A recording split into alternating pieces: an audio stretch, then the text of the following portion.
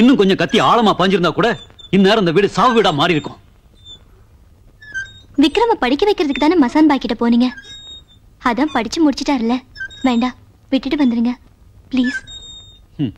சாமினா உனக்கு பிடிக்காது. ஏன் பிடிக்காது? ஆடை வெட்டு கோழியை பலி கொடு இல்ல தீ மிதி இல்ல ஏதாவது செய் அப்பதான் உனக்கு அருள் கொடுப்பேன்னு சொல்ற சாமி நமக்கு எதுக்குன்னு கேக்குற. இப்ப நீ மட்டும் என்ன பண்ற? மனுஷனை வெட்டுற பாய் கிட்ட எல்லாமே அவனே கதின்னு கிடக்குற. அது மட்டும் தப்பு இல்லையா அருவா எடுத்துக்கிட்டு கதிர இருக்க போனா நெல்லோட வரலாம். உயிர் எடுக்க போனா நம்ம உயிரை எடுத்துருவாங்க. நீங்க எங்களுக்கு உயிர். எங்களுக்கு நீங்க வேணும். அண்ணன் தான் வீட்டுக்கு வந்துட்டார்ல. இனிமே எங்கேயும் போக மாட்டாரு. குடிங்கண்ணா. குடிங்கன்றல.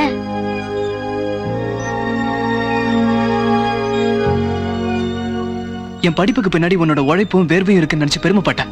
ஆனா அது இல்ல. கத்தியும் ரத்தமும் தான் இருக்கு. ஹ். நினைச்சாலே அருவருப்பா இருக்கு.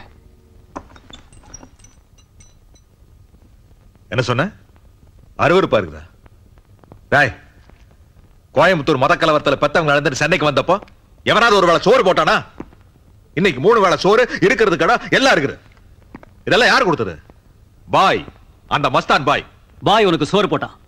ஒத்துக்கிற பதிலுக்கு அவன் செஞ்ச பல தப்பான கறிகளுக்கு நீ உடந்தையா இருந்திருக்க. போதும் சேனா. விட்டுரு. பசி தெரியுமா உனக்கு? அனுபவிச்சிருக்கியா? ஒரு நாள் ரெண்டு நாள் இல்ல. வயிறு பசிய மறக்கிற அளவுக்கு பட்டினி கிடந்திருக்க அப்ப இருந்தா சரி. இப்ப நான் நல்லா படிச்சிருக்கேன். நல்ல வேலை கிடைக்க போகுது. உன்னை வச்சு நான் காப்பாத்துறேன். இந்த சேனாவை நீ காப்பாத்த போறியா? ஆ? இந்த ஸ்கூல்ல படிக்கணும் அந்த காலேஜ்ல படிக்கணும் வெளிநாட்டுக்கு போய் படிக்கணும்னு ஆசைப்பட்ட இல்ல? அதெல்லாம் எப்படி நடந்தது? அந்த பாய் இந்த சேனா கொடுத்த பணத்தினால. அவரை விட்டு என்னால வர முடியாது. ஏதோ சின்ன வயசுல ஆசைப்பட்டேன். கேட்டேன். அப்ப எனக்கு தெரியல. அப்ப எனக்கு சின்ன வயசு தான் எனக்கு தெரிஞ்சதெல்லாம் நீ ஆசைப்பட்டதை செய்யணும். அவ்வளவுதான். ஏன்னா உனக்கு அம்மா அப்பா நினைப்பு வந்துடக்கூடாது பாரு. இது வரைக்கும் ஒரு நாள் ஒரு நாளாவது அந்த நினைப்பை அவனுக்கு நான் வரவிட்டுருப்பா சரி.